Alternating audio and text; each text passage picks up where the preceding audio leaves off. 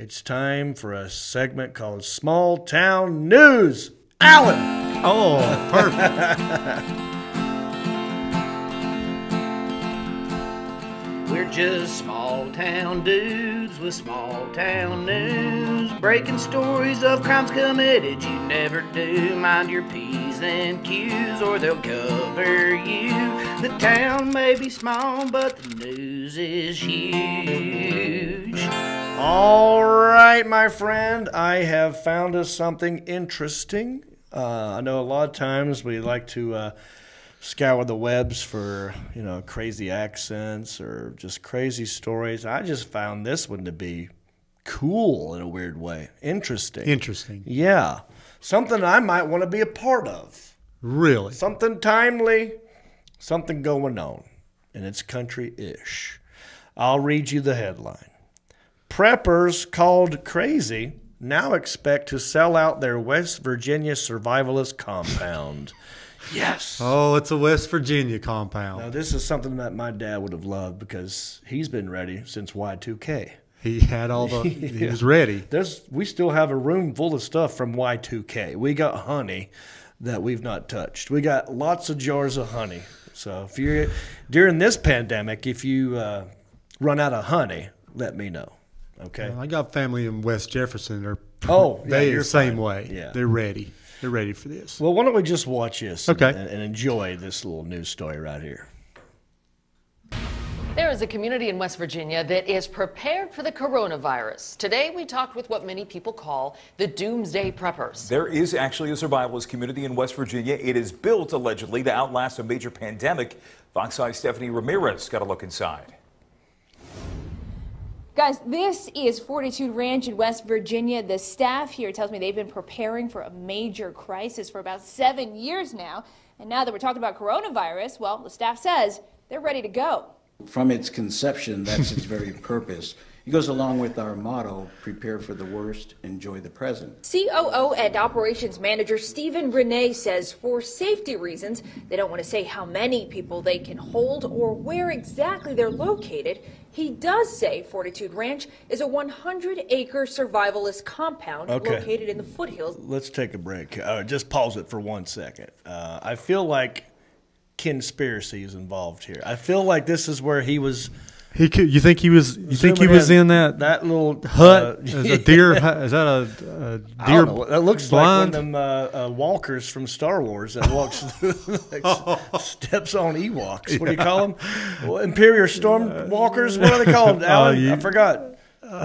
Oh gosh, uh, they're know- like uh, at at something. Uh, You know what I'm talking about. Yeah, I know. What Oh. you're The talking little about. ones that are like on AT-ATs. Re- uh, uh, uh, Return of the Jedi. I think it's the AT-ATs. Yeah.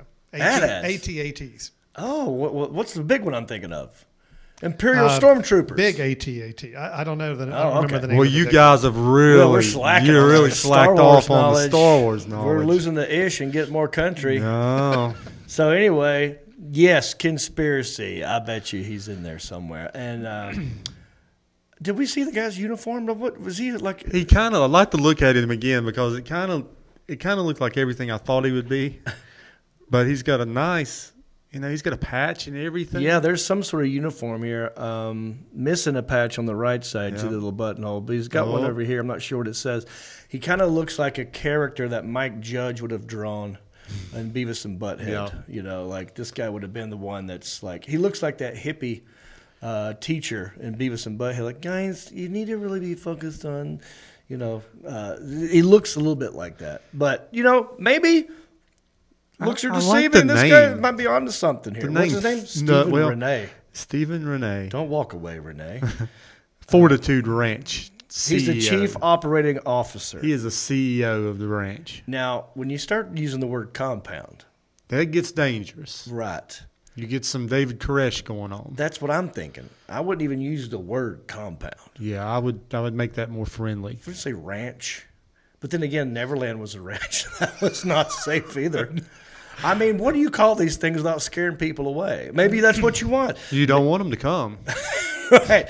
You just want your own community in here, Yeah. which is great. Um, during a you know there's pandemic and stuff. I guess they said they could survive for seven years. In the beginning, that lady said that. Yeah. All right, I'll do like that. It does look like That's where something from Star at. Wars, like That's a where redneck. Star Wars, Yep. dude. Ken's up there right now. He's listening to us. He's got Wi-Fi in there. They got solar power. You know, they're set up. All right, let's continue a little bit. Fortitude Ranch is a 100 acre survivalist compound located in the foothills of the Shenandoah Mountains in West Virginia. It backs up to the George Washington National Forest. While you can enjoy the present, this is a bed and breakfast for members on its off seasons. Bunkers, there's two on the property. They're prepared. Wait, wait, wait a minute. Wait a minute. Can. I can I jump Bunkers. in here for a minute? Please Yes, do. Al. Did you guys note that it's a bed and breakfast On in the- the off season? Okay, well, number yes, number one that implies there's a pandemic season. You know what I mean? like there's a season uh, because there's an off season, which Yeah. implies there's a season. So yeah, uh, and then a bed and breakfast. Now that means we could stay there, but we got to find it because they won't tell us. I smell a segment yeah, smell a sec. on But the road with this is- country-ish. uh, but this is typical West Virginia, right? I mean, in Yeah. in your business, you got three or four things going on. You got your Yeah. you got your tanning bed, your salon. You got your every business has got four or five things going Oh, on. yeah, why that- why would the Fortitude Ranch be any different? Side hustle. yes, I mean that looks like it's a fallout, like a That's a, nuclear that's a nuclear shelter of some kind. That looks like one that they built like in the '60s, maybe. Yeah. Um, Pretty interesting. except for the wood doors. Pretty sure, uh, you How know, about the wood doors? Maybe those are. during a like a, a nuclear bomb. Maybe that's where they explosion. park the John Deere in and bring it out to mow. Right. yeah. Okay. Now that's interesting. So there must be. It must be on Airbnb, dude. Alan, if it's a, if it's open for bread and breakfast, it's probably on Airbnb. yeah, And I'm- we can I'm- book a room. I'm going to be looking this up afterwards for Oh sure. man. Yeah, Okay. On the road. that. expect a follow up report on this uh, this segment. Yeah, we could do a. We could like go there for a whole weekend. Yeah. And, and uh, you know, do a podcast from there and. Um, They'll probably bring us in blindfolded. We probably have to meet somewhere and they bring us in. Well, we wouldn't have any Wi-Fi, I bet. No. Oh, I, I don't know. They may have their own. They may be transmitting their yeah. own towers. Very Yeah. encrypted, uh, encrypted Wi-Fi Yeah. signal. Yeah, they're doing like illegal pirated radio shows out of there Mm-hmm. too.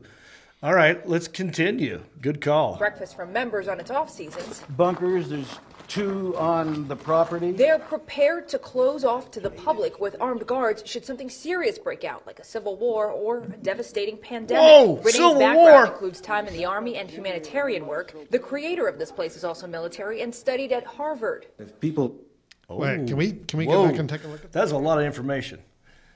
She said, in case of a civil war, they have armed guards ready to. protect to, it? To, to, to shut it down from the public. So basically, armed guards will go out and protect this area in the event of a pandemic or a civil war. Or a civil war. Civil war. Oh, I wonder who put that word in her head. Hmm. That's interesting. But take a look at this place. This is nice. Not, Yeah, this it's is nice. Not your typical. Well, this is prepper, the uh, CEO shack right here. We got this figured out. This is their master quarters. Yeah, Yeah. you got your foosball table, your dartboard, um, nice little Telescope. sitting a telescope. yeah. Yeah. Um, I don't know. Some of the furniture is a little outdated, but you know, when you're Well- when you're on lockdown, you don't care about what's in style. This, this is just coming in. West Virginia's 30 years behind on everything. So this is this is hot 80s stuff coming in right now. Yeah. And they're just now in 83. So just think about. That's right. Um, yeah, that's pretty nice. All right, let's continue. I, I, I, that was weird. The Civil War, armed guards, Work. The creator of this place is also military and studied at Harvard. Harvard. people don't cooperate and, and it really starts to get out of hand because the economy tanks. Everybody's out of work and then at one another's throats. Well, that's why a place like this exists. Where you can get away from that. On site, Wait, I'm confused. room- Okay, pause. So, so what he's saying is, we've built your combine. You just got to come pay for it. It sounds like it's membership driven. Yes. They mentioned members a couple Yeah. of times. So I think if you're a member of this You can come as a safe haven. then you're able to come in and enjoy this safe haven in the event of a Yeah. thermonuclear war or something. Right. So, yeah. I wonder how much membership is, mm-hmm. and once there's you know the world goes to shit and it's all going to hell, what good is your money anymore? You got to have a skill. Yeah. So what's your skill going to be They probably they're probably pre you know, Yeah. you, you have to be able to do something. Like I, they wouldn't let me in because I'm Now, a you're stupid you're comedian. you're done. I don't have a skill. You're I not mean, getting in. well, I mean, we might could get you up there and let you dance around a little bit or something. Play some old Georgia Lighten the satellites. mood. Maybe it's good for You know, your mental sweet, stability. You need, need some entertainment after six or eight months of that. Maybe that could you like a court gesture. Yeah, that's it. I'm a clown. Jon the Gesture. He'll be performing tonight at seven thirty. Well, at the, hey, if that's at the what it- Fortitude Compound. It takes for me to survive. I'll put the stupid shoes on Yeah. and rubber nose. I just want to live, man. right? If you want to watch the whole version, the entire episode, click on this little square right here. Or if you just want to subscribe and watch them later, click on that little bubble right there. And thank you.